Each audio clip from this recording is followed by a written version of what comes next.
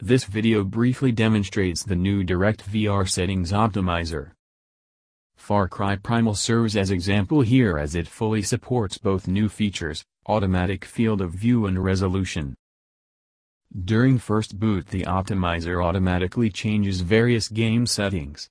When this is done, you see a message in the headset recommending to restart the game to make sure all new settings are applied. Upon restart the resolution has changed to 1600 by 1200 in this example to avoid unnecessary rendering overhead. At the same time the camera field of view automatically has been adjusted to fit your headset, so you are basically good to go.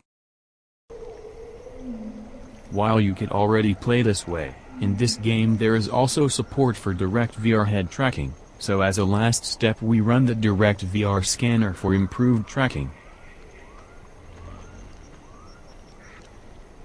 That's it. Welcome to Far Cry Primal in VR. Play either with mouse and keyboard, gamepad or your VR controllers. Last, but not least, if you don't want to play in VR anymore, you can of course revert any changes made by the optimizer with a single click.